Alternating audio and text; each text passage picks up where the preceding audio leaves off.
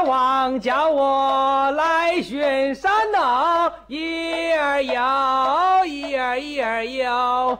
小毛球，你可别唱了，还是省点力气吧。你谁呀？我你都不认识？你们老大没告诉你吗？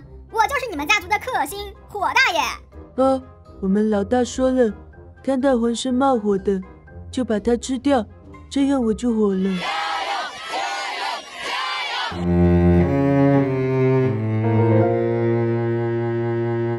老大，老大，就是他把毛球弟弟给烤了。哎呦，正觉得烤一只不过瘾，这又来了一大只和三小只，这回可以请豌豆家族吃烤肉了。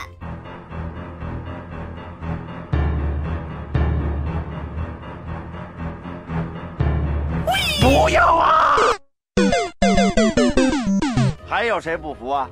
啊！我不服，我就是豆姐，专门为你们冰河家族特制的黑暗料理，外表红彤彤，内心嘎嘣脆，那是相当的美味。Hello，大家好，我是豆姐。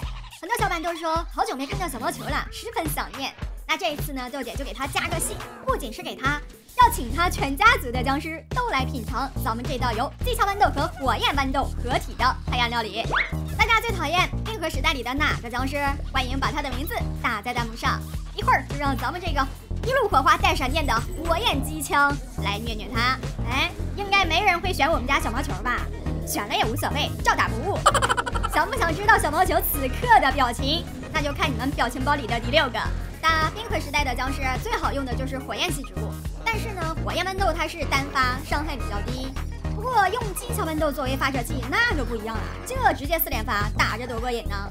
可能会有小伙伴说，那不对呀，豆姐，金枪豌豆三百七十五阳光多贵呀。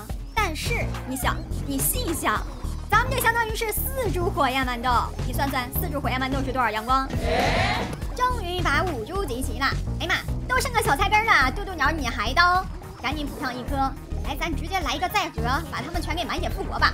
我去，不是吧？这是谁把冰块把巨人给我往前推？学局大哥是不是？这可不行，这再往前推一推，植物都给我推没了！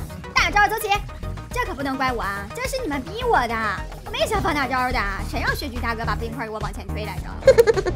又到了大家展示自己实力的时候了，谁能给咱这一期的变异植物起一个既符合它特点又很霸气的名字呀？老规矩，咱们还是先来展示一下。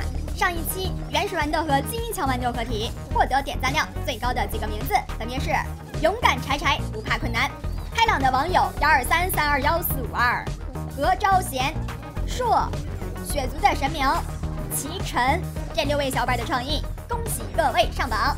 没上榜的小伙伴，机会来了呀！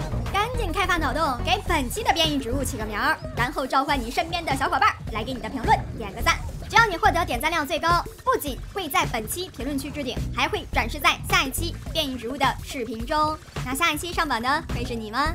那这一期的电影植物咱们就玩到这里。喜欢看的老铁记得加个关注，长按点赞。那我们下期见。